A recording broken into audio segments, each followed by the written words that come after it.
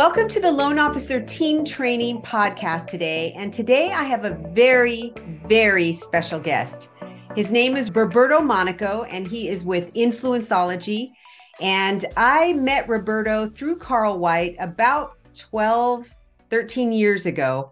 And it was one of the best days of my life when I met Roberto. Roberto, I am so glad you're here with us. Thank you so much for being here and taking your time to be with Irene, us. thanks so much for the invitation. I want to give a virtual hug. a and, virtual uh, hug. Here we go. it is my honor to be here chatting with you guys today. Uh, well, I'm super excited.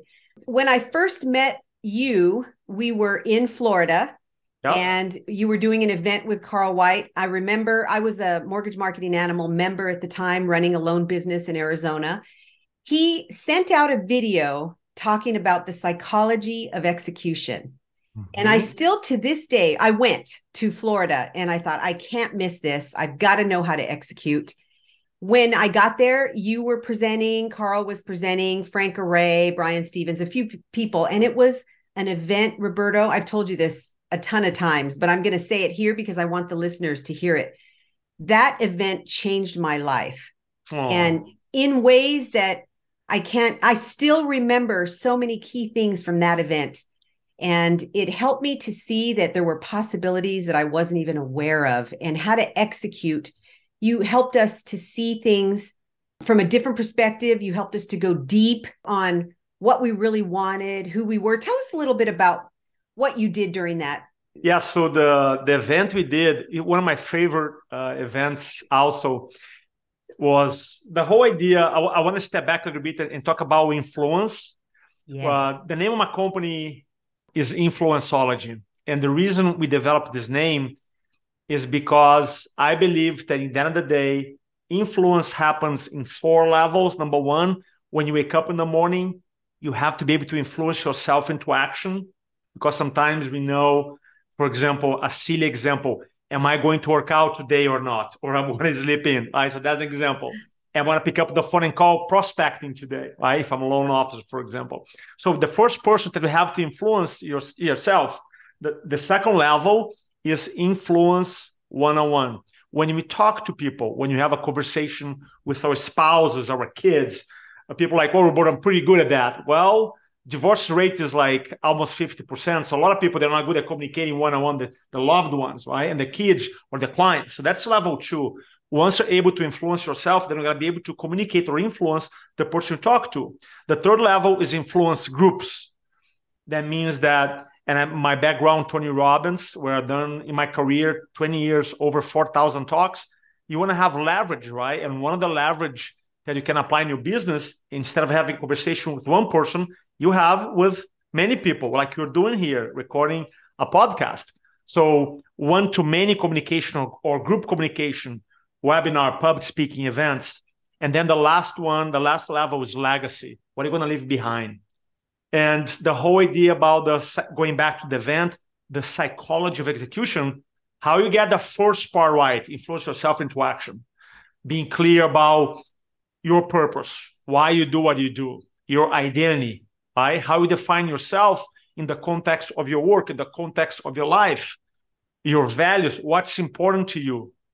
Are you experience what's important to you? Because a lot of people say, well, I'm clear about my values, but you're actually experiencing them on a daily basis. Mm-hmm. And we talk about our belief systems, the things that you believe to be true, the things that hold you back, the things that sometimes not some beliefs they're not quote unquote real, but they help become a better leader, better communicator.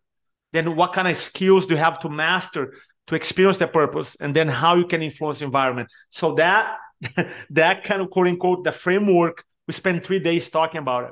That's why it's so critical for us to be able to execute, not only take action, because in the end of the day, Irene, I feel like if taking action feels like going to the DMV to renew your license. Nobody wants that, right? Like, ah, right. I can take action, but like, I hate it. That's not the point.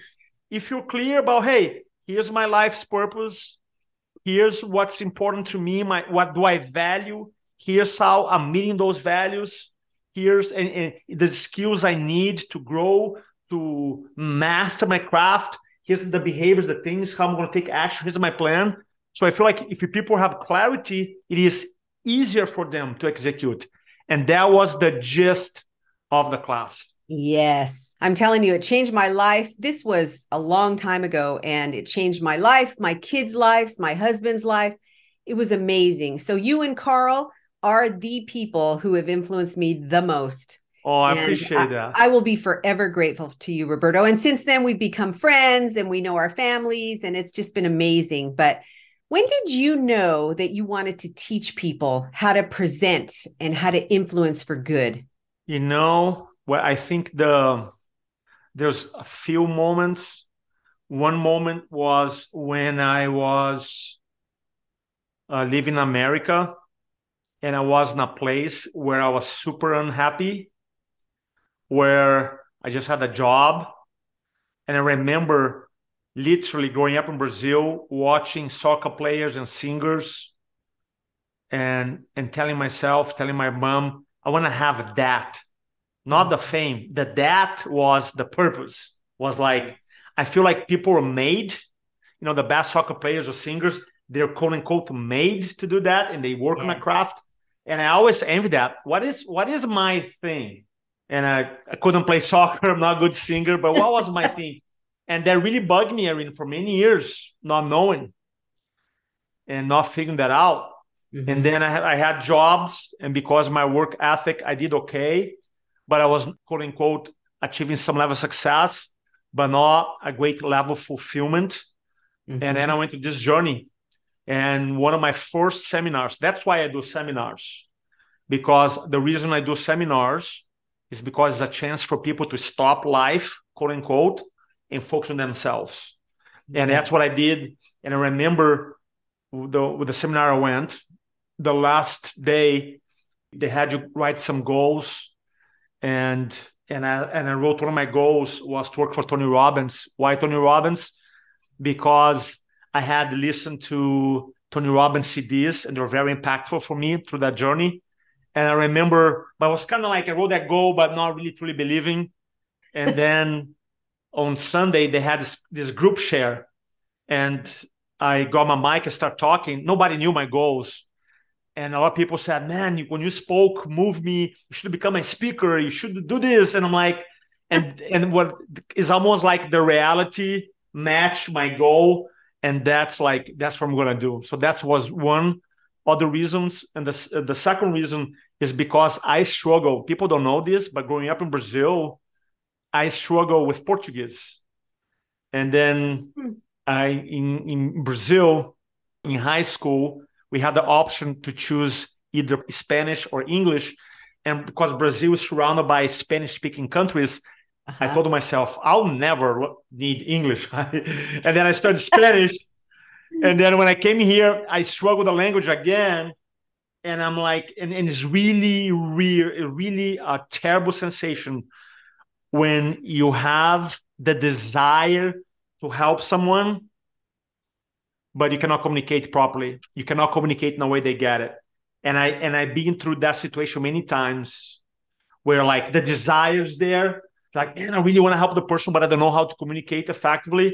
And I think that led me to say, you know what? I want to master this kind of like I want to overcome the barrier on myself first and then help people. Mm-hmm. And then I realized later on, as I was uh, going through my journey, I started receiving phone calls from people.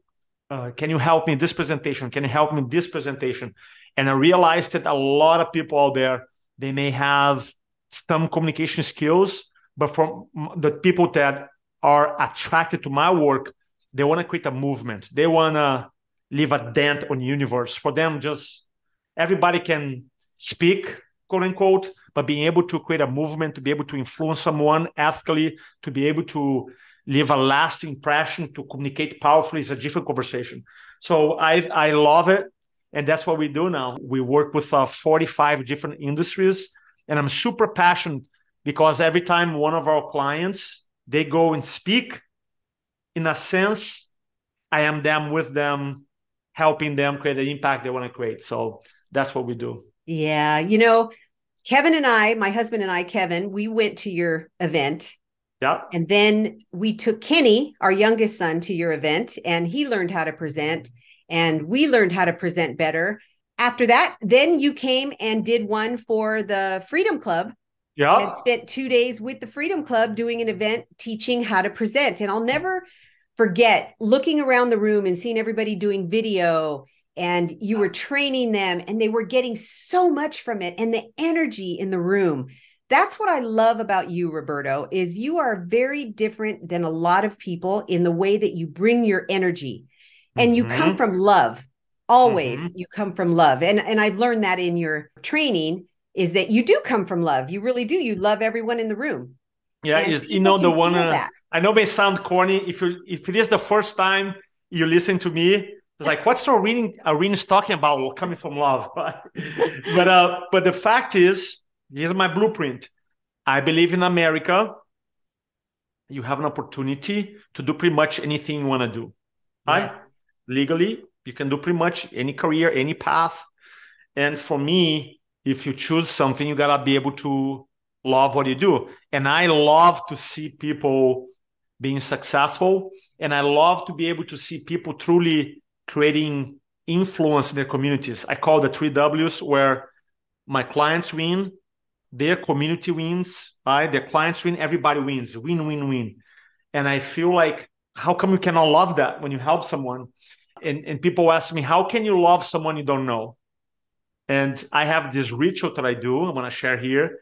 I before my presentations, I always close my eyes, and I and I start doing this 20 years ago. So the first thing that I did, I was just had me and my mom. I had memories of my mom hanging out, my mom traveling. So I had these very loving moments, right? And then later on, I got married. So then I go with my mom, then I add my wife. So I have loving memories of my mom, then my wife, and now I have two beautiful kids, Sophia and Phoenix. I do the same, me playing with them.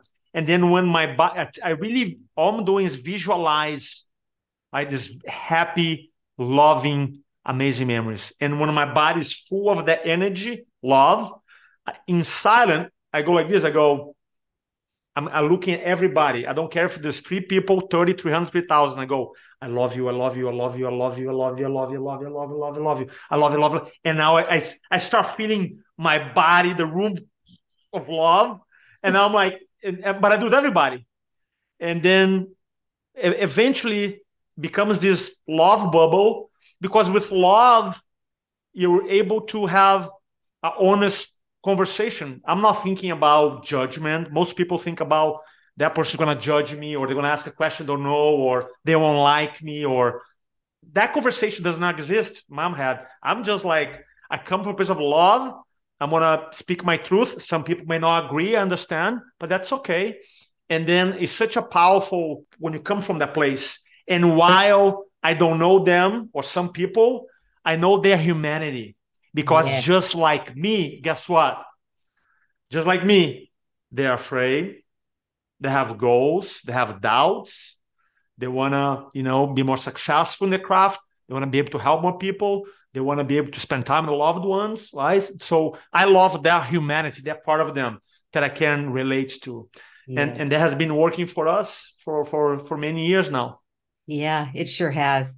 And that's what I love about your energy that's why we connected so deeply is and those are the people that connect with you are the people that can connect to helping people to wanting to improve people's lives and to do it by influencing them. You teach the skills about how to do that because it takes skill. It's yeah. you can't just get up there. You can wing it but it's not going to come out the same way. No i, I want i want to share with you something uh, just expand the point. I was talking to someone the other day and i said i'm i'm super lucky because of the, the caliber people you attract. So like we have these classes, Irene. So the last one I did was a month ago, and this financial planner from uh, Seattle area, he goes, I cannot believe the quality of people I met here. And I'm like, I know. It's like, I know. It's, it's just, you know what it is? I, I feel like part of it is to become a great communicator, to become a great leader, a great, uh, a great influencer.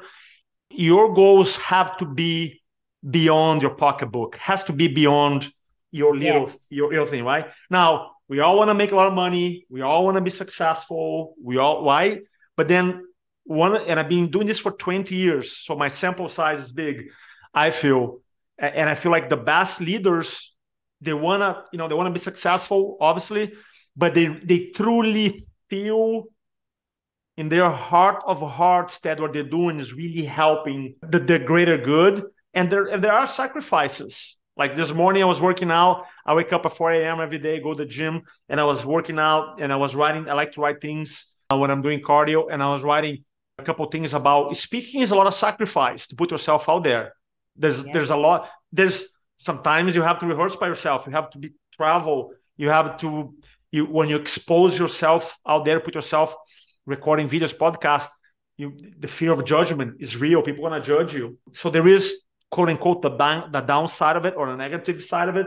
For me, I see as just that's what comes with the. It's kind of like if you're gonna work out, then your muscles are gonna be sore. Right? Is the same idea. But but but but that's how ultimately I feel every leader again 45 in 45 different industries they have this extra and this extra arena is that there's the the legit genuine real desire to do something beyond their pocketbooks beyond their financial stability or their company they want to help more people I totally agree with you. And that's why we got connected through Carl, because that's how he is. Yeah. That's how you are. That's how I am. And everyone that we deal with is that way. They're all about helping people. And like you said, I love those words beyond the pocketbook because mm-hmm. you want the pocketbook. You want to make of course, money, of course. Of course, of course. Yes. Of course. But it's all about being beyond the po- pocketbook. And I love that. And the thing about love is I, I love this saying love is the answer to every question. That's mm. one of my mm. very favorite sayings because love can overcome a lot of things. So, mm-hmm. love is the answer to every question. And having that love makes a big difference. Now, my dad was an immigrant. My my dad came from Mexico City and he taught me that. He taught me about love. He didn't read that quote, but he taught me work ethic, how to deal with people and that not everybody's going to like you. You know, he used to mm-hmm. tell me mm-hmm. that not everybody's going to like you, Irene, and that's okay just be who you are and be a positive person and help people. He said that's the best thing you can do. And I'm grateful that he taught me to do that. Oh, and I love that, Irene. I, I wrote it. down that I wrote down the quote. One of my quotes that I use in speaking is this when you love speaking, speaking loves you back. right. I it's love like, that. Because when you're a, a lot of times when people go through you know their careers or coaching groups or they say hey put yourself out there or do a talk or record a video whatever and then if you're just doing because quote unquote that's you're supposed to be doing or your coach told you to do it or you saw someone else do it you you won't be able to be fact you got to be able to love like, like kind of the act of. So i love it. I love i, I truly if i go you know, a couple days without speaking or recording videos, I actually crave it because for me, and it's not about me, it's about people, but I love, I, so for me, I, I realized that when you love speaking, speaking loves you back. And I'm not saying that you should be love, you should love being perfect because one thing I can tell you, I'm not perfect. And nobody expect perfection when you communicate. People have a, they want to expect you to be able to help them. It's different. Yes. So many people, they don't record a video, they don't put themselves out there because Irene, they want to be perfect. And the truth is that on my last talk I gave in Michigan two weeks ago, there's a couple, a hundred people in the room, and I asked them, "How many of you here, when you came here, you were expecting me to be perfect?" I asked this question. Out of a hundred mm. people, no one raised a hand. No one. Nobody. And I said, "How many of you here? You came here for four hours. You expect me to provide value to you to respect you, to give some ideas. Everybody raise a hand, right? Mm-hmm. So the point I was trying to communicate is this: when you speak, nobody quote unquote expect to be perfect. They expect you to be awesome because awesome is a standard that everybody can can strive to achieve, right? Awesome. What do you mean being awesome? Well, you care, you prepare, you give your best ideas, you show up with energy, you spoke yes. from love. That's being awesome. But yes. I want to make mistakes, or you don't have to worry about being perfect. So yeah, I love that. One of the things that you taught me and many, many people throughout the years is when you're nervous to get up there and speak, when you're nervous, just remember it's not about you, it's about mm-hmm. them. Mm-hmm. And in video, the other thing that you taught me is you know, don't be worried about what you look like because that's what you look like when you go to the store and exactly, people see you there. Exactly. exactly. Exactly. We don't think about that when we walk out and go to the store, but for some reason, when the video camera's on, we start thinking about that. So those yeah. are the two things that I remember that are that's really funny. key things. You know, no, yeah. Key. No, a lot of times we get caught up on the small things like for me for example when i when I, I, told the story about when i when i learned that i want to become a speaker before that i for many years irene i never took action towards my goals because i didn't want to speak because i had an accent. Mm. some people may look at me like well but that your accent makes you memorable. People remember you. And i'll be like okay i understand that. But the way i felt for many years is because people are to make fun of me. Even though our limitations or limited beliefs most of them they're not real quote unquote they're mm-hmm. real for us and then yes. and they actually physically stop us or some of us from taking action it does and so how did you get out of that did you start just deciding that you were just going to put yourself out there or how did you, you know irene for me it was uh, for i start getting uncomfortable more uncomfortable more uncomfortable i just became uncomfortable like not happy. You know, people change out of pleasure or pain. I think for me it was a mix of both. One question that always helped me, and you heard, I think anybody in personal development has has heard this question. That question really helped me uh, when the first time I heard it. Mm-hmm. And I heard it if I could do anything in my life and I knew I could not fail, what would I be doing today, right here, right now? And I'm sure everybody re- read this question very few people have answered this question truly. For me, it was like was a different way of thinking. Mm-hmm. And that question, I, I always have like, yeah, why, what is my answer? And I think part of it of like being having the courage to explore the question or the answers. Number two, not liking what I was, mm-hmm. fulfillment wise. I think the combination between towards pleasure, towards the future, and away from like I don't want to feel this way anymore. I don't just want to have a job and just make. I just I don't want to that. When I I know there's more. I can see there's more. Yes. And I think the combination of both helped me break through. And then with the the training, the coaching, the speaking, I hired a coach too, and eventually I could actually I I, I changed the belief system, mm-hmm. and eventually my new belief system that replace like before was like I, I don't want to speak because I have an accent. Uh-huh. That was holding me back. And eventually I changed to every time I open my mouth, magical things happen. I love that. And then I'm like, come on, Roberto. And people they listen to me like, dude, that's kind of silly. We're like, well, that's my belief. I don't you don't need to. That's mine because because for me, I look at my calendar, I read uh, you know podcast. I'm excited about it. Why ma- magical? What do you mean magical? I'm gonna connect my friend, I'm gonna hang out. Yeah. Hopefully, I'm going to inspire someone here today. It's magical things happen. So for me, it's better than like, well, I'm going to speak today. Uh, I read podcast. I'm afraid some people don't like me because I have an accent. I can. It's, it's two different realities. And totally. once I change the conversation, the other stuff is just literally gone. This is gone. That is so true. I, I am one that really believes in being intentional about what we say to ourselves, and that's what makes the difference and your mindset has always been since i've known you has always been positive you're full of energy full of love and really wanting to help people so do you have a, like a routine that you go through uh, mentally to say things to yourself on purpose each day or... well i pray mm-hmm. I, I like uh, i like to pray right i like to ask the question what do i have to believe in this situation Love right? that. Because what do you have to believe about the situation is kind of like a way of me creating uh quote unquote empowering positive beliefs. Mm-hmm. I have this before I, I do I present, I have this kind of like um my have four things that I do. One, I found a place of confidence, I find a place of love, I, I have a place of empathy and I have a place of gratitude. So, gratitude, love, empathy, certainty. So, I, just found this state, right? So, that's kind of like is how I program myself before I present. and and I'm a kind of speaker that I'm always studying, always studying. I study every day. That makes a day. big difference, doesn't it? I study. I'm a student first. I see myself as students. I'm always reading, always a book, always an audio book. My wife actually, when I moved from San Diego to Charleston, South Carolina, I gave away 300 books. And she made promise me that I was like, from now on, you're just gonna buy ebooks. so I hate to tell you that I broke the promise. I'm not very proud, Irene. Not very proud. I try. I had like you know those Kindles. I have two or three of those, and I'm like, I just cannot do it. So I she understood now. She but does. um, I, I love. I, I just love.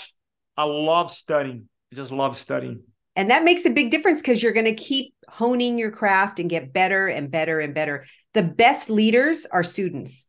Mm-hmm. I think that uh, every leader that I know that has been very successful is also a student at heart. They're always mm-hmm. learning.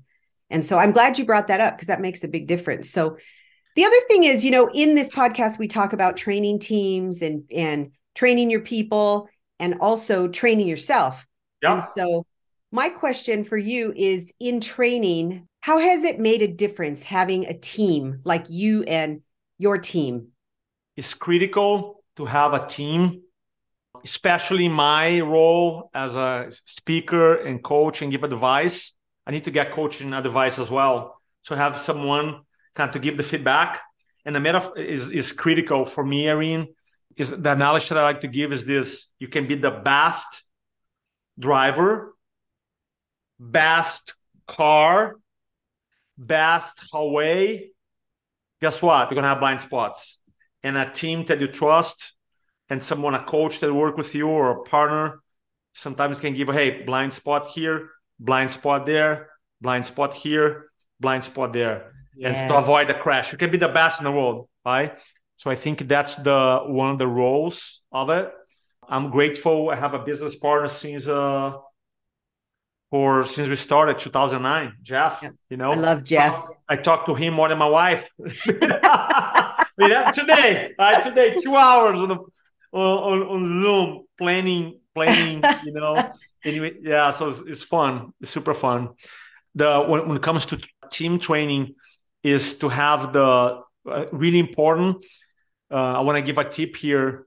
A lot of times the leader of the team that person has all this expertise and this is what i've seen in teams and then when it comes to the team there's a blockage of communicating the expertise to the team right mm-hmm. does that make mm-hmm. sense it's yes like, totally and and i think it becomes super powerful in when the leader takes the time to start creating a content bank or storytelling database or phrases or methodologies to pass all the uh, beautiful information to the team right yes. because i realize sometimes let me give an example a leader can turn around and and do a presentation for uh, let's say in your world right you have a loan officer is speaking to real estate agent let's say mm-hmm. okay and the loan officer has this amazing skill has a story has a case study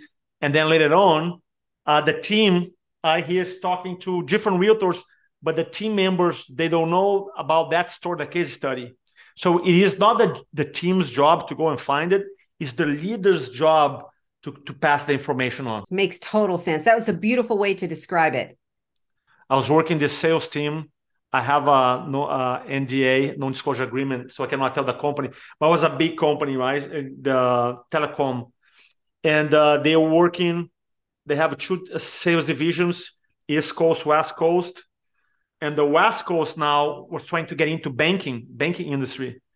And the sales rep goes, "We don't have any stories, a case that's about banking."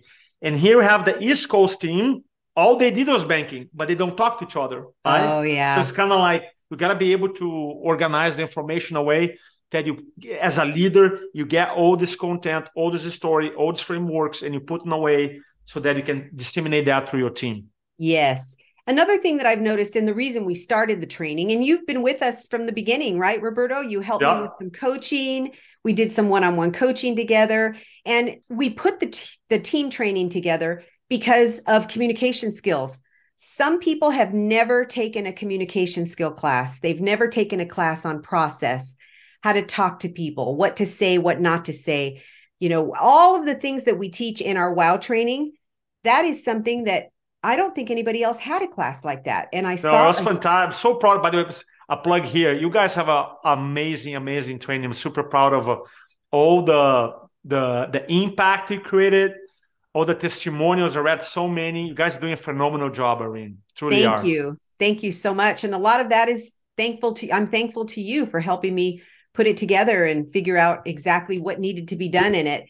And I'm I'm just really grateful because I feel like we are helping loan officers, we're helping companies, we're helping mortgage companies, branch managers, we're helping staff I had a gal reach out to us after taking our, we have a new training that I haven't probably mentioned to you yet, but it's a loan assistant mortgage training boot camp.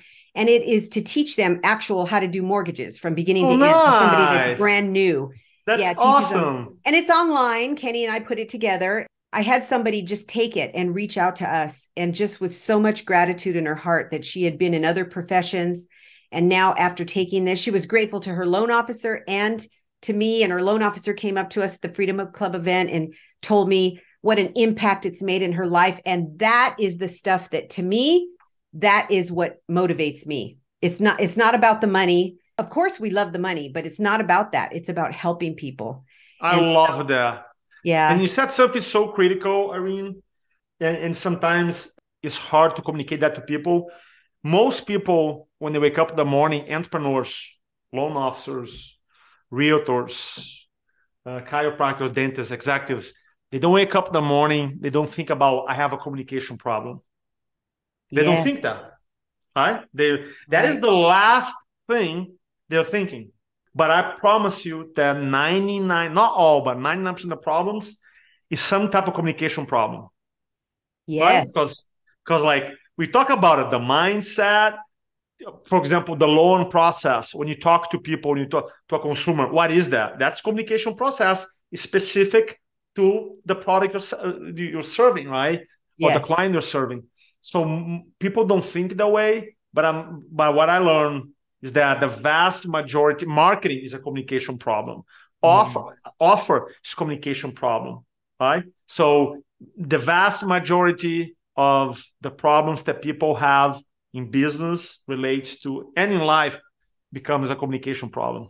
Mm-hmm. Let me give an example. I have a I have a silly example of my you got to be able to communicate differently with people and becoming aware. So on Halloween, so we have we live in a neighborhood here in South Carolina. We love it and it's very active. The Halloween kids everywhere. Uh-huh. And this year, my wife is very health conscious so she come up with this thing or learned from somewhere about the wheat switch. Have you heard about that before? No, no, I haven't. So basically, the wheat switch is this: you go into Whole Foods and buy some very organic, good candy. Okay. Like good candy, good, good candy. yeah, good candy. Right. and then you you let your kids go out, and then when you come back with a full of those candies, you say, "Look, I have this beautiful bucket.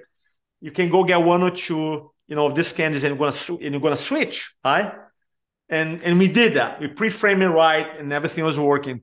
So my three-year-old Phoenix, since he got his bucket, every day in the morning I wake him up, seven o'clock. First words out of his mouth. Can I have a candy? First words before good morning, hello, dad. Can I have a candy? And that every day, every day, four or five times a day, every day. And I'm like, I'm getting tired of this. So I said, uh, Phoenix, do you want to know what happens with kids who eat candy all day and don't brush their teeth? He goes, yes. And I went to Google and I typed it up, bad teeth, sugar. I mean, I'm talking about like crazy pictures. So I got my three-year-old, showed the picture, and he was quiet like this. And I said, Do you see why Dada doesn't want to be can- eating candy all day? He goes, Yeah, I understand. He stopped asking. And I, I was taught I was the communicate communication genius, right? I mean, I'm like, man, I got it right. My three year old. A couple days later, Sophia, my five year old, shows up. She started, I want a candy, I want a candy, I want a candy. And I said, uh, Sophia, do you know what? Do you want to know what happens with kids who eat sugar all day and they brush their teeth? Yes. I put the same picture. Irene, she started crying like crazy. My wife mad at me. What have you done to her? you know, and then remind me like, look, we cannot communicate the same way. The, the, the, people they're different. They're different. Yes, They're different. it was my bad. I did. Oh, I that's funny. This, my, you know, it's my bad. So it's a lesson that communication. There's always the next level being able to to read the room, and I didn't do that very well with my daughter.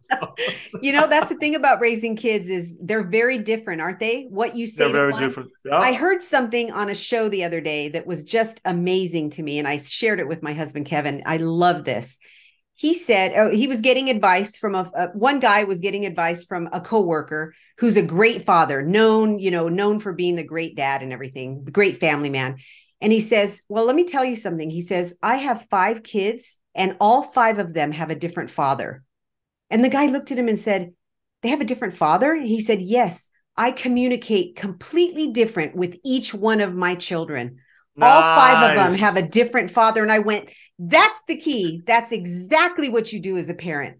Yeah. yeah.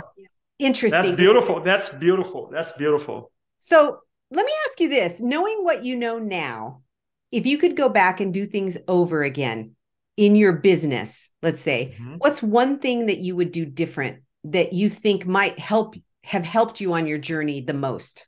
Is there something or would you do it the same? I would say all my failures and successes have been uh, positive to me. Fail a lot, succeed a lot, had uh, some amazing moments. Had saw no amazing some moments were very challenging for me. I will not change it. I don't want to give an answer here just for give an answer. I like that perfection, but I will not change it. You know, I love the journey. I love the challenges when I look back of uh, everything we've done in our businesses, I feel I feel blessed. You know, so uh, there's nothing that I I think everything just helped me to become who I am. I agree. And what we do, what we stand for. I don't think I would change anything. I think because everything was on the right time too. Yeah. I'm sure there's a lot of things I could have done better. Don't we all, right? Yeah. I think one of the things that I personally, well, okay, let me, one thing that I think I, I could have done better was when I start speaking in the beginning, I was so focused on speaking in the beginning, so focused on being in front of people that I was not focused much on marketing, kind of like what happens to the people who are not ready to buy, whatever to yes. have a good follow-up system, a good email marketing system. I did so that's something that I'll do from the beginning. Answer your question now. I would start earlier. Eventually, I corrected. Took me I don't know three four years to correct that. Uh-huh. Uh, eventually corrected thanks to Jeff. Wasn't you know, but the rest I feel was it's been a good journey. It's been fun. I mm-hmm. love it. I started the speaking in 2002, so going on 20 years this year. On our for 20, 2002 2008 Tony Robbins with our company 13 years going 14 years so we love it. It has been fun. Great great. Tell us one thing that you're excited about that you're working on right now. One thing that i'm super excited i spent uh, saturday morning i actually did that for a couple hours so i've been doing a class it's called influencing from the front that, that you participated uh, yes. carl participated so i've been doing that class I am cre- developing the same format. I'm putting an online coaching, group coaching format. So that's, awesome. that's going to be yeah, it's going to be new. It's going to be because most of people speaking has changed. We have not only we have the opportunity to do in-person events, which is amazing, mm-hmm. but then we have this. We have podcasts, have live video, we have membership sites, you have videos, you have yes. What I love about it specifically uh, there's more opportunity before COVID. Mm-hmm. Right? So now I'm taking my class and developing a, uh, a curriculum online. So that is my new project coming out. Hopefully December I finish. So I'm super excited about that. Oh, I love that. That's going to be so great because more people will be able to take advantage mm-hmm. that can't go in person. Mm-hmm. That's going to be amazing. So yeah, I'm, yeah. I'm grateful for that. And I'm grateful for you, Roberto. Thank you for being such such a great influencer for positive and also for being such a great friend and being so full of ideas, being a great coach. You know, I, I from the day I met you, my goal was so that you would coach me someday. Remember, I told oh, you that. I said yeah, one of these yeah, days. I couldn't afford it at the time. Very nice. Couldn't afford it at the time, but I knew one day you would be a coach for me at some point in my life, and you have, and I really appreciate it. And you have helped change not just the my life, but the destiny of my family. And mm. that means more than anything else to me. You could have had me get a better business and all of this stuff. But the thing that really matters to me is how it's changed my family. And I'm so, so grateful. Thanks so much, Rin. I, I feel the love. I appreciate that very much. So yes. grateful for you, uh, for your family. So, what words of encouragement do you have right now for our loan officers and other business owners in the current times that we're in right now at the end of November in 2022 when things have been a little rougher mm-hmm. for life in general with inflation and the mortgage industry where it is right now what words of encouragement do you have for the loan officers listening? So i've been doing influenceology now for all these years. So pre-covid my business was so i had events my own events. Imagine this i do my own classes then i go to speak at people's events. Mm-hmm. and then a lot of my clients coaching clients are people who hire me because they want to they're doing their own events right? Uh-huh. and eventually you cannot do public speaking anymore right? I mean literally. Yes. Couldn't do it. So that forced me to go online and i start doing three day events online virtual. And uh, in the beginning was rough a lot of pain trying to learn. Am i able to do three days online 30 hours? Yes learning technology, the video, the studio, the messaging. In the beginning was painful, kind of scary.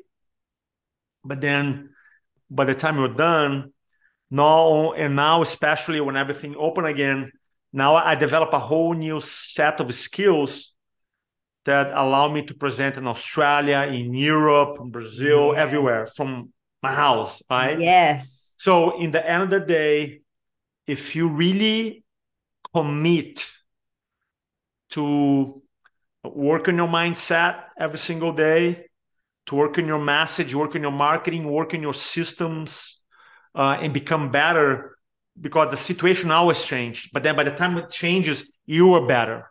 Like yes. you are better. So when when the whole thing shut down in the beginning, obviously everybody was scared. In my business specifically, I know the loan mortgage business was really good timing for them because the phone started ringing right? Yes. Mine just like went cold, and I gotta figure that out because we couldn't do events. Yep. So for me, was a looking back now was a blessing because I learned, uh, we uh, develop a whole new set of skills that now we use that I didn't have that before. So if you're a loan officer, if you're a business owner, uh, are you working your messaging? Are you are you you having the same message now that you were two, two years ago? Then it's not going to work. You have a different message? You have a, different examples? You have a different systems? I work with a one loan officer who is crushing it right now, and he's uh he's totally revamped his business model. Not his his business model is different. He's crushing it, like mm-hmm. crushing it. But he has a totally different business model than he had two years ago. Yeah, I mean literally so it's like, so are there people now are now crushing this marketplace? Yes. Is it rough? Of course. Mm-hmm. But then every challenging market creates there's an opportunity right now. And how what are you doing for your mindset? What are you doing for your skills? Are you are you deploying new strategies? Yes. Uh, so what are you doing specifically? And we always have control. Sometimes like we uh, the or everything that's happening outside feels like you're not in control, but guess what? You are always in control of our actions. So you yes. can are you are you better? Are you are you gonna be better? I don't know, June next year than you are right now? How much better? How specifically? What is your personal growth plan for the next six months, one year? How are you gonna yes. become better? Mm-hmm. Right? There's always a choice. So that'll yes. be my message. And it's an opportunity. We're in a market of opportunity right now. And the ones that are doing the actions, they're going to be mm-hmm. the ones that get ahead. And the ones that are not are not going to be getting ahead. Well, I appreciate you being here, Roberto. Thank you again for everything and for always giving back and for giving to the communities. And I still remember the three wins. Yeah, win, win, win. I remember before that, I used to say win. it's a win win for everybody. And now I always say it's a win, win, win. yeah, yeah, yeah. You win, your clients win, your community wins. I love it. Yep. Love everybody it. wins. So, well, we appreciate you all listening to the podcast today, and we appreciate you watching, those of you that are watching on YouTube. And if you enjoyed this today, please share it with some other loan officers that you know and who we would also appreciate a five star review. That'll help other people see it and be able to get benefit that you think could get benefit from it. So, and if you're interested in taking a look at our training classes, we have three of them. We have the WOW training, we have client conversion training, and we have the loan assistant mortgage training boot camp. So take a look at loanteamtraining.com if you're interested in any of that. And once again, thank you, Roberto, for being here. Thanks I have so thoroughly enjoyed seeing you. I appreciate it, Irene. Thanks so much. A big hug, big hug of the family, and we talk very soon. Okay, sounds good. Take care. Bye bye. Bye bye.